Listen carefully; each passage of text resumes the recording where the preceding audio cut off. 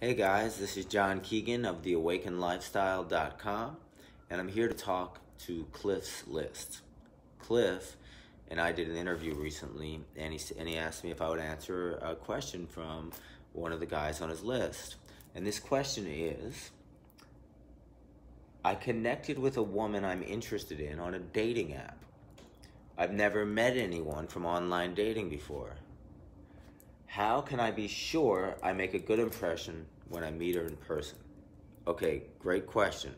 First things first, though, guys. I don't want to be the uh, purveyor of, hey, go out and online date. In fact, a lot of it's a waste of time. Of course, you should do it.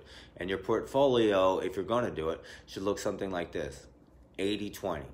80% I'm out there meeting people in real life, uh, going out, going, uh, creating a lifestyle, uh, surrounding myself with people that I'm meeting in real life.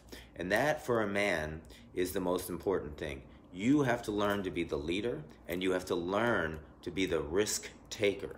So that means the risk, the first risk, of course, is to go out and say hello to strangers uh, especially if you're particularly introverted or you find yourself not doing it at all or you're feeling stuck in your head, you've got to develop a daily practice of going out saying hi to people, giving compliments, having conversations, learning to express yourself and talk about yourself, learning to get to know her in a way that's not boring as hell, in a fun way, in a sincere way, learning to flirt, learning to give playful compliments, playful, playful, playful and jabs, and learning to um, be silly, learning to be really sincere with a woman on the spot, in the moment, learning the physical, the physical conversation. How do I talk to a woman physically?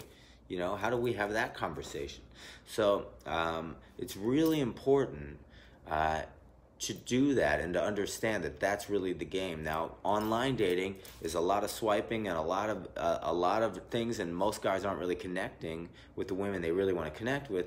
And uh, as all the time you put into it, you could just simply go out and meet people in real life. Like literally, you could just go out, say hi to someone, uh, and once you get good at it, you got a date. You know, so keeping that in mind. But the question is, is how do I make a good first impression when I meet a girl uh, from an online dating app? Well, already you made a first impression. She must have been impressed by something, by your pictures on the dating app, number one, or, or, or your bio. So if they were true and sincere to you, your bio and your pictures to who you are, uh, that's great. So that's already a win. Now you've got to show up with the energy to be detached from the outcome.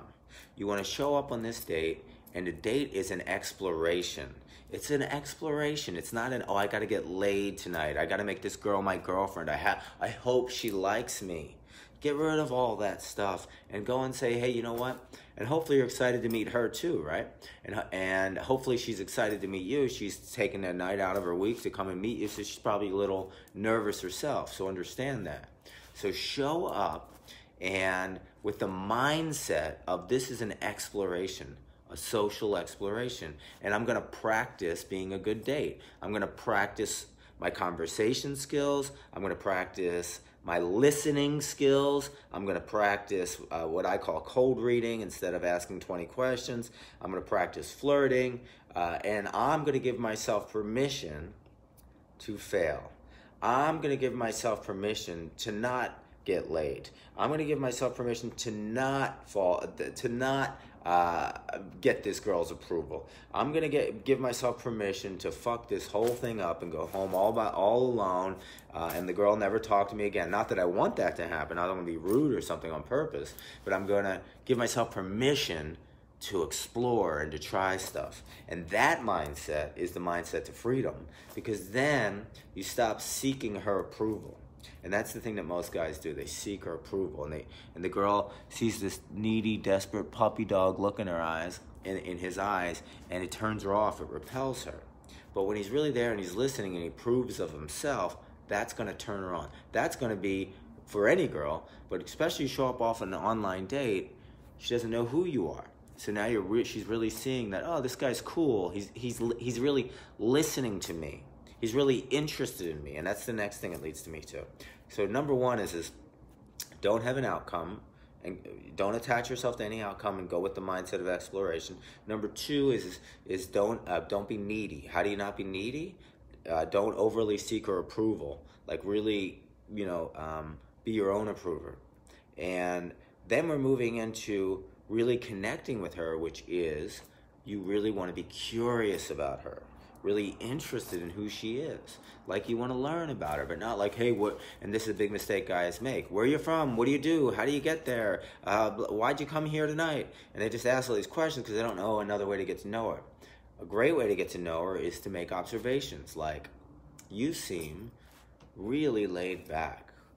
I'm going to guess you meditate. You seem like you have a creative side to you. Is there something you do creatively? Oh, that's interesting. Wow, tell me more silence, silence, silence, really listening and paying attention to her. So that's going to get her to open up more and more. And even though you may feel nervous, breathe and stay relaxed and, and, and, and understand that silence is a man's friend as long as he's listening he's present and he's not listening to crazy voices in his head like, I'm not enough. Uh, uh, oh, I'm saying stupid shit. Like, that sucks. Just stay there and listen to her and be curious about her and be okay with awkward silences. So another big thing is is just going back is when you show up on the date, are you dressed cool? And how you dress cool is you express yourself uh, through your style. So even little things, you can dress, wear a regular t-shirt and jeans, but you have like something like, you know, like I have this hat. It's got this Russian word that says underground in Russian. I don't speak Russian, but I got it in another country. I have these bracelets. These bracelets have meaning to me. I actually can tell a story about each one. I have this necklace. It has meaning to me and I can tell a story, but even more than that, it gives her something to say. Hey, you'll notice if you wear things like this, they'll grab them and, and they'll be like, oh, it gives them something to latch on to. Oh, hold on, my camera here. It gives her something to latch on to and talk about. And then you have a whole conversation. And you don't want to just be like, oh, it's a silver necklace. You want to be able to tell a story. So like I, I have a, stories about each one of these, like this, what this key means to me, or what I don't think you can see, but there's skulls on the bottom of this, and what that means to me, and and I can talk about that, and then and then you can do the same thing back to her. So you're just showing up that you're expressing yourself in some way through your style. You're there. You're detached from the outcome. You're exploring and giving yourself permission to fail. You're super curious about her, and you're not just asking 20 questions, but you're making observations and then probing. And you're listening like hell. And another thing you can do on a, to make an impression on a first date is don't be too needy. Like, don't do what so many guys do, especially when they meet a girl online. They totally objectify her, they're totally horned up, and they're just trying to get laid no matter what like show up and don't be so desperate to get laid tonight. In fact, you know, like really look to make a connection with her. And, and if that happens you're going to be having sex with her on a regular basis and hopefully more than that with her. Um, so the point is is show up give her a hug when you first meet her. And when you hug her hug her very comfortably just give her a nice hug and your hips like a lot of guys when they hug here's the girl here's the guy. A lot of guys when they hug they they come up and they go like and they put their ass out that's his ass. They put their ass out and they pull away and right away puts himself into like a beta male position like i'm just your best friend. And then that immediately second one turns her off. Done. But if he comes up and just gives her a hug regular hug he doesn't press his pelvis in like a pervert just gives her a regular hug then and then just lets go, looks at her, gives her gives her a small compliment to, to relax her because she was nervous about the date as well. Like, hey, you look great, or that's a cool shirt, or great hat, great swag, whatever. Let's go to the date. So that's that's some really uh, important guidance I think I can help you guys with. And throughout the date, uh, feel feel uh, free to you know take her hand and hold it for a second be direct with your intention. You're not stealing something. You're not hiding the fact that you're a man and she's a woman. You're just take her hand and talk to her. So that's what I'm gonna. Uh, that's where I'm gonna leave it at now. It's quite a lot of information. Uh, it's more than making a first impression. It's like how to kill it. So don't try to get laid the first night. Just build, have the physical conversation. Build, build some comfort by touching her, and maybe even just you know hold on purpose. Hold off sex until another time it'd be impressive to her that you were one of the few guys who didn't try desperately to get laid on the first date. So I think uh, that's really important, and we shall talk again soon, uh, from what I understand. Anyway, guys, it's John Keegan, the Awaken Lifestyle, here for Cliff's List, and I will talk to you soon. Thanks so much. Bye bye.